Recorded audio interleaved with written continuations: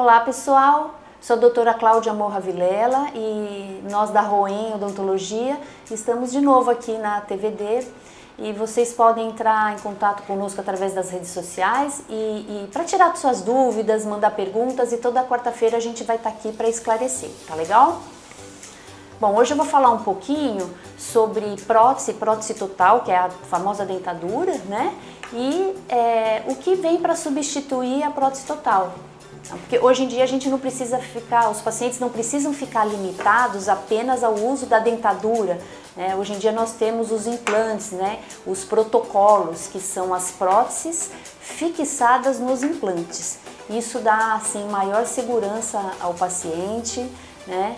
É, ele fica mais seguro de poder falar, de poder se alimentar. E toda essa reabilitação né, de, de, feita é, com o protocolo, com a prótese sobre os implantes, ela permite é, que o paciente é, seja é, consiga mastigar melhor, consiga se alimentar melhor, né, porque ele não solta. É, então o paciente consegue é, ter uma função, né, uma função melhor, uma função mastigatória melhor, é, ao mesmo tempo ele, ele readquire uma autoestima perdida com a perda dos dentes. Então é muito importante para a saúde emocional do paciente, né? para a saúde mental do paciente.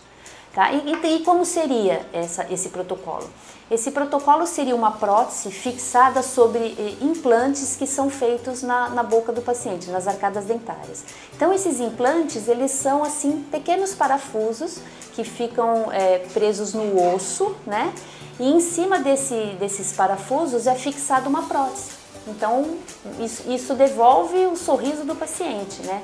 Devolve a segurança e, a, e o prazer do paciente é, sorrir, comer, se alimentar. Não é só uma questão estética. A questão estética é super importante, como eu falei, porque devolve a autoestima.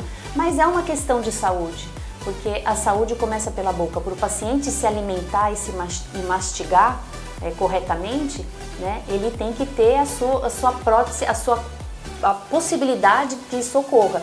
E, e, a prótese também ela tem que ser bem feita, tem que ser numa altura correta, tem que ser na dimensão correta, é, para que essa função seja restabelecida. Uma pergunta que surge sempre é se qualquer pessoa pode fazer. Nós temos que fazer os exames é, corretos, tem que ser feita uma tomografia, onde o profissional vai avaliar como é que está a condição óssea do paciente, porque tem que ter osso suficiente para se fazer um implante, o que vai segurar um implante é o osso, né?